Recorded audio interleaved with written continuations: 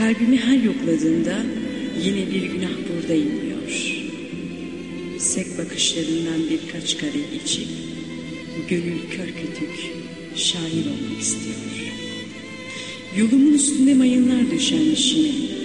Bu bir tuzakları ardından el sallıyor. Oysa, oysa ben efsunlu bir el arıyorum. Gözlerim umutsuz, kendini boşluklara sarıyor.